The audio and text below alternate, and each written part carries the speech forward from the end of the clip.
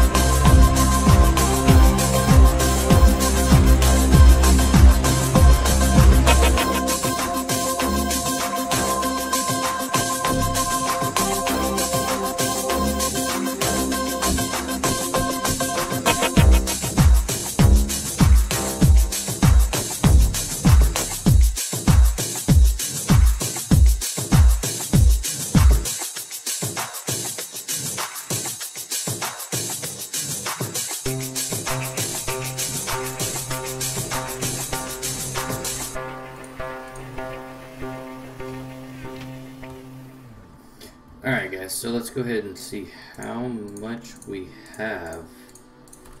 This is going to be crazy.